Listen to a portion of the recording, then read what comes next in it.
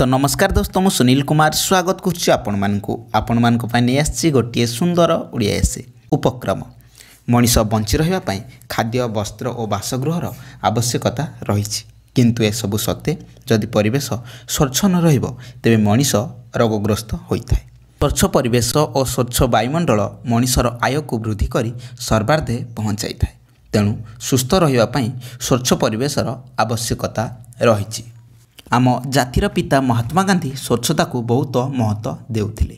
ତାଙ୍କ ସମୟରେ ଗ୍ରାମ ସଫେଇ କାର୍ଯ୍ୟକ୍ରମ କରି ଗାଁକୁ ସଫା କରୁଥିଲେ ଏବଂ ସ୍ୱଚ୍ଛ ଭାରତ ଗଠନ ପାଇଁ ଆହ୍ୱାନ ଦେଉଥିଲେ। ଗାନ୍ଧିଜୀଙ୍କ ମତରେ sanitation is more important than independence ବର୍ଣ୍ଣନା ଗାନ୍ଧିଜୀ ସ୍ୱଚ୍ଛତା ପ୍ରେମୀ ଥିଲେ। ତାଙ୍କର ଏହି ମହତ୍ ଉଦ୍ଦେଶ୍ୟକୁ ଆଗେଇ ନେବା ପାଇଁ ଆମର ମାନ୍ୟବର ପ୍ରଧାନମନ୍ତ୍ରୀ ଶ୍ରୀ ନରେନ୍ଦ୍ର ମୋଦି ଦୁଇହଜାର ଚଉଦ ମସିହା ଅକ୍ଟୋବର ଦୁଇ ତାରିଖ ଗାନ୍ଧୀ ଜୟନ୍ତୀ ଦିନ ସ୍ୱଚ୍ଛ ଭାରତ ଅଭିଯାନର ଆରମ୍ଭ କରିଥିଲେ। ଏହି କାର୍ଯ୍ୟକ୍ରମକୁ ପ୍ରତ୍ୟେକ ସ୍କୁଲ କଲେଜ ଗାଁ ଏବଂ ସହରରେ ପାଳନ କରିବା ପାଇଁ ଦେଶବାସୀଙ୍କୁ ଅନୁରୋଧ କରିଥିଲେ।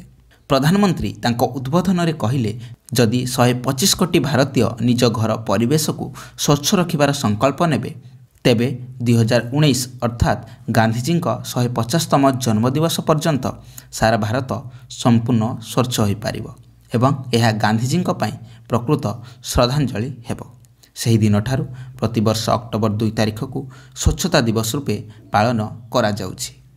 ସ୍ୱଚ୍ଛ ଭାରତ ଅଭିଯାନର ଉଦ୍ଦେଶ୍ୟ। ଏହି କାର୍ଯ୍ୟକ୍ରମର ଲକ୍ଷ୍ୟ ଲୋକାଭିମୁଖୀ ଅଟେ।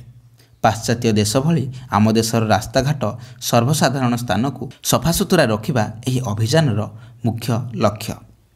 ଲକ୍ଷ୍ୟ ଏଠି ଲକ୍ଷ୍ୟ ହେଇଛି ତାକୁ ଲକ୍ଷ୍ୟ ଲେଖିଦେବ। ଏହି ଅଭିଯାନର ମୁଖ୍ୟ ଲକ୍ଷ୍ୟ ତ ଏଠି ଲକ୍ଷ୍ୟ ହେଇଛି ସେଟା ଲକ୍ଷ୍ୟ। ଏହି କାର୍ଯ୍ୟକ୍ରମ ଦ୍ୱାରା ଖୋଲା ସ୍ଥାନରେ ମଳତ୍ୟାଗକୁ ରୋକିବା ଏବଂ ଏଥିରୁ ହେଉଥିବା ଦୂଷିତ ପରିବେଶ ଓ ସଂକ୍ରମିତ ରୋଗ ବିଷୟରେ ଜନସଚେତନତା ସୃଷ୍ଟି କରିବା ଏହାର ମୁଖ୍ୟ ଉଦ୍ଦେଶ୍ୟ।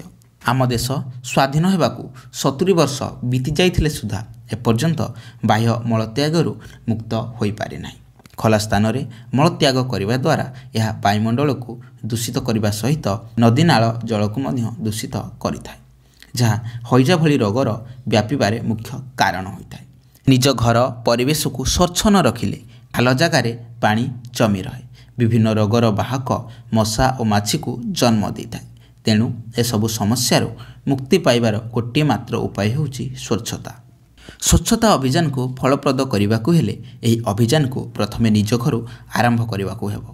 ପ୍ରଥମେ ଆମେ ନିଜେ ସଫାସୁତୁରା ରହିବା ପରିଷ୍କାର କପଡ଼ା ପିନ୍ଧିବା ନିଜ ଘରକୁ ସଫା ରଖିବା ଏବଂ ଆବର୍ଜନାକୁ ଏଣେ ତେଣେ ନ ପକାଇ ଡଷ୍ଟବିନ୍ର ବ୍ୟବହାର କରିବା।